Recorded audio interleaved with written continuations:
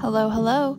Today we're going to be creating some spooky doodles in a Strathmore Mixed Media visual journal, as well as Strathmore 400 series mixed media pads cut into small squares. We're going to be using Princeton mini detailer brushes in a shader, angle shader, spotter, monogram brush, fan brush, and a round. You're also going to need Maimeri gouache in the colors Brilliant Orange, Scarlet, Lemon Yellow, Sky Blue, Sap Green, Sepia, Black, and White. And these are just some of my reference doodles that I did beforehand, so I have something to go off of. First, we're going to start with a tombstone. Here I'm mixing black and white to make a darker gray for the side of the tombstone and a lighter gray for the face of the tombstone. I'm going to be using a shader brush to help cover a little bit more area. So we're going to start with a sort of C shape for the outer edge of the tombstone. And you can make the size of this as thick as you want it.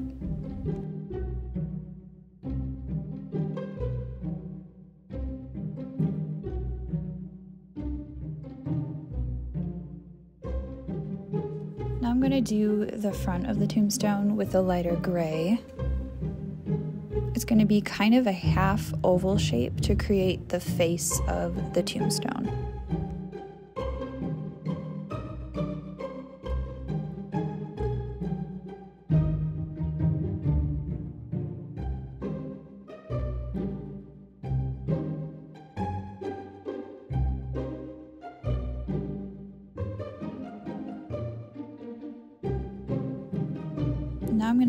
Together yellow, sap green, and some sepia to make the perfect shade of grass that I want.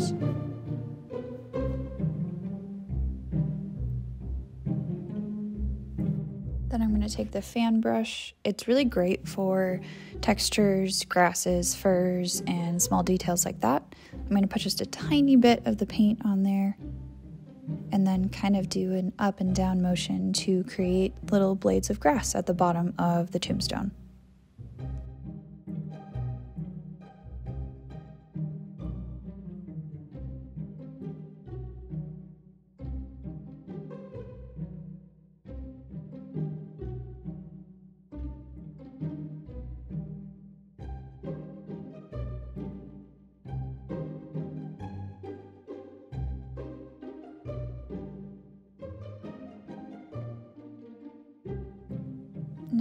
I'm going to use the round brush with a little bit of black on it.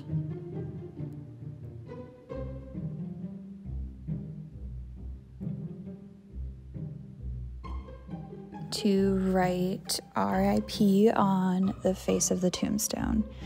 This tiny little round brush is perfect for very small details and for writing tiny words. I love how small it is and how pointed the tip is. And that's it for a spooky little gravestone. Next, we're gonna make some cute little candy corn.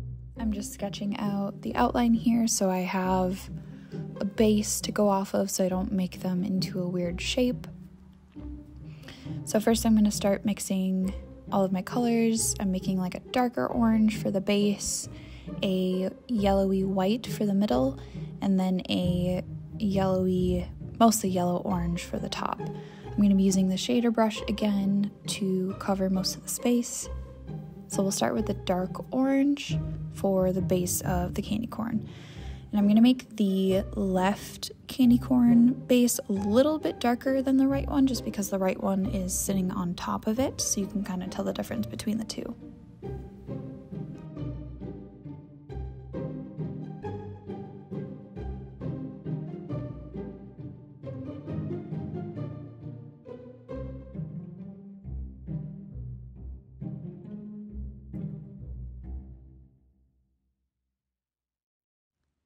I'm going to go in with the yellowy orange for the top of the candy corns.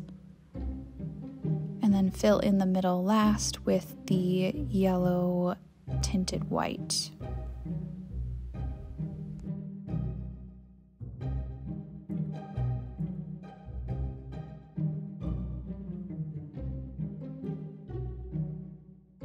Just doing some touch ups so that left one is a little bit darker. Is it for some adorable candy corn. Next, we're going to make an easy little spider. So once again, we're going to use the shader for the body of the spider.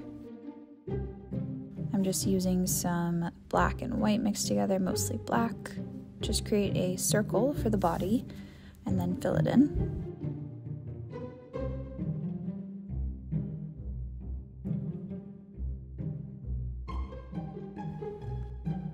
Next, I'm using the monogram brush to create the spider legs. So get some black on there and then go in outward motion. So you can create a very thin little line. You can make the legs as thick as you want. I'm gonna go over it one more time because that's pretty thin. And then give your spider eight little legs.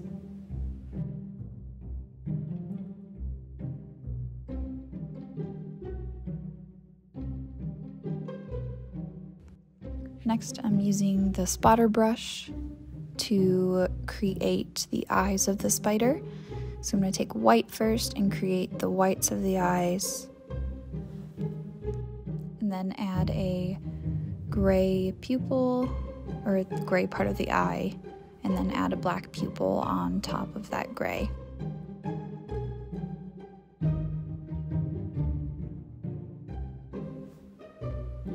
And that's it. A cute little spider. Next we'll be painting a pumpkin. Here I'm just drawing the outline of the pumpkin again so I have something to fill in so I'm not just freehanding it. And I'm going to mix together some of the brilliant orange, the lemon yellow, and sepia to make a more earthy looking orange for the pumpkin. So I'm going to start with a mostly orange for the base of the pumpkin because I'm going to add in some behind layers with the darker orange. So fill in the front parts of your pumpkin with your brilliant orange, lemon yellow, a little bit of sepia combination.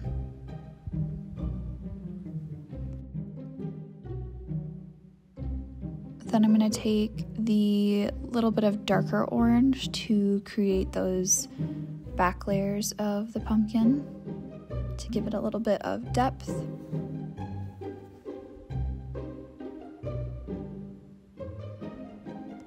Then I'm mixing some more sepia in with the brilliant orange to create the color for the stem.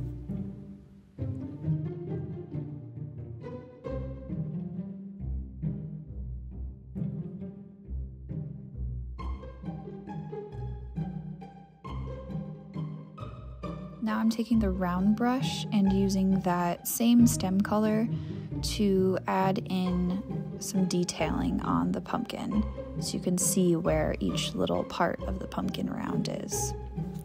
And ta-da! You have a fall pumpkin.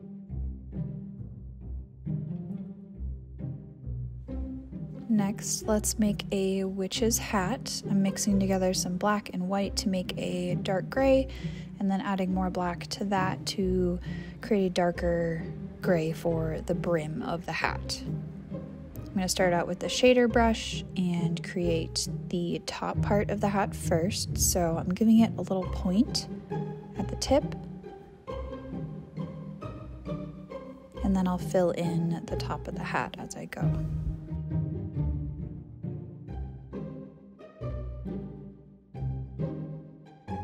Next, I'll do the brim of the hat with the darker gray, doing a circular shape to create the brim, and then I will fill that in with the shader brush as well with the dark gray.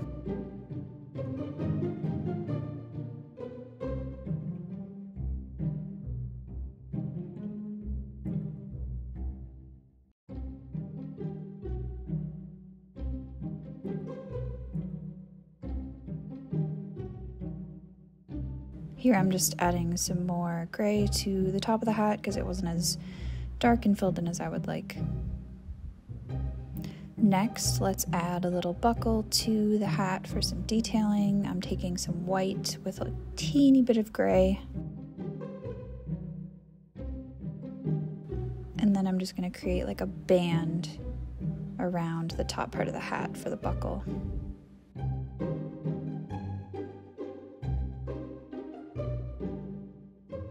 Then I'm going to take some orange with the shader brush as well and create the buckle itself.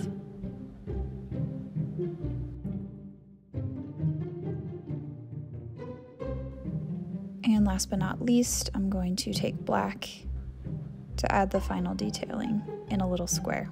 I'm just adding some finishing touches, making sure the brim is straight and even. And there you have it a witch's hat.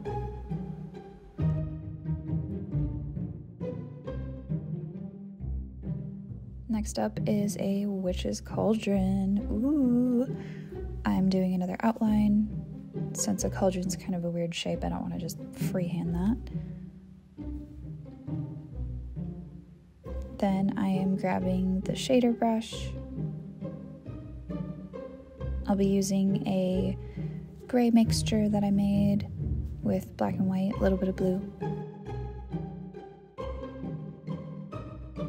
So just fill in your outline with that whole color to create the cauldron.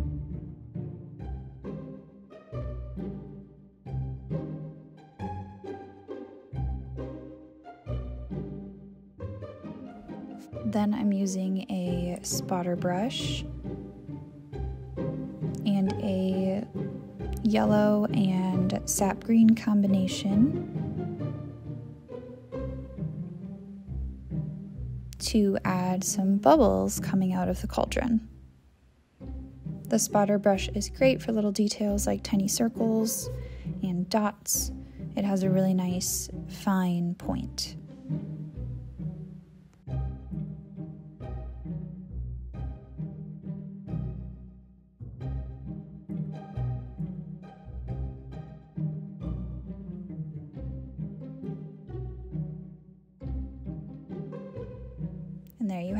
Uh, a witch's cauldron. And of course, we have to make a beautiful fall leaf. So I'm starting with a quick little sketch of a maple leaf, making it kind of spiky. And then I'm going to start with the shader brush, of course, and I'm going to use kind of a mixture of the brilliant orange, scarlet, lemon yellow, but first I'm starting out with a mostly brilliant orange color just to kind of put down a base level.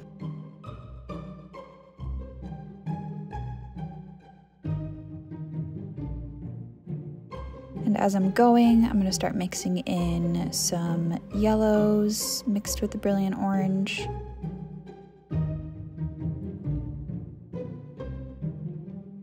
Kind of just put the colors wherever you want.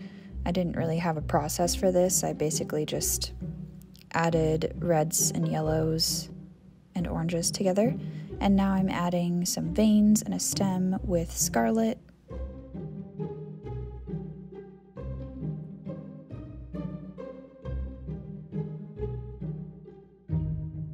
The shader brush is great for filling in areas, but also it has a nice point, so you can add thin lines like that easily. You can do a lot with a shader brush when it's this tiny.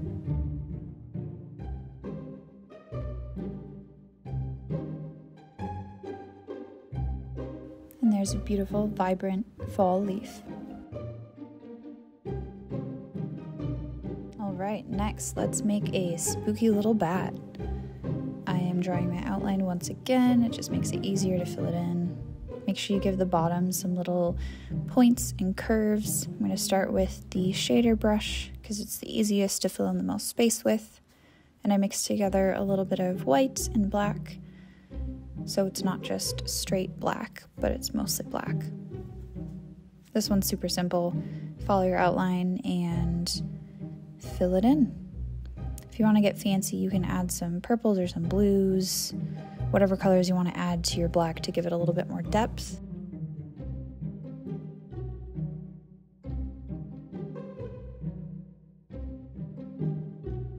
And here I'm just going back and making sure that the curves and points are a little bit more pronounced to make it look better.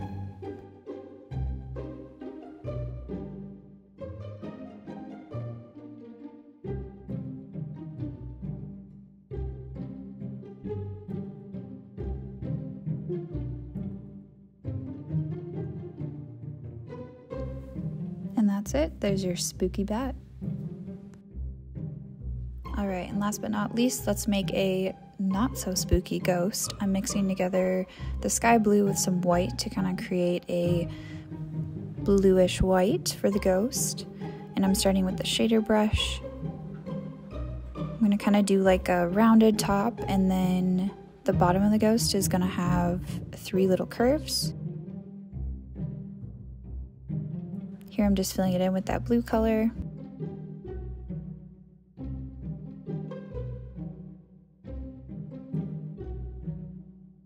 Next, I'm going to draw a cute little trick-or-treating bag with some sepia. I'm using the round brush for this so I can kind of create a jagged top to the brown paper bag. The round brush isn't great for filling in spaces, but it's great for creating thin outlines and small details.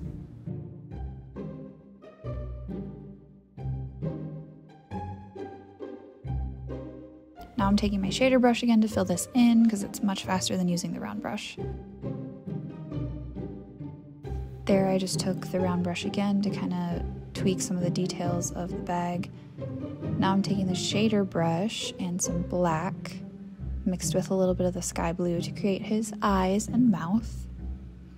Two little ovals and then a small circle for the mouth.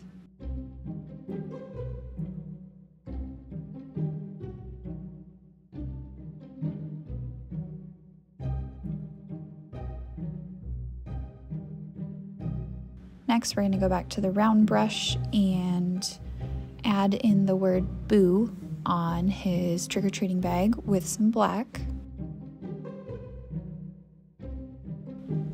The super fine point of the round brush is great for doing these tiny little letters.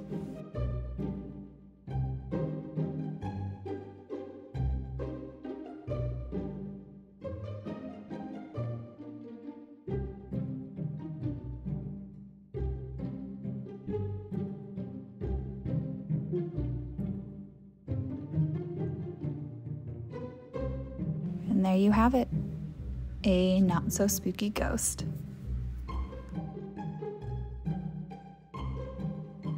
So now you've created nine spooky doodles. If you create your own, we'd love to see you share them with us. You can post it on Facebook or Instagram and tag us at Princeton Brush. Happy Halloween, creatives!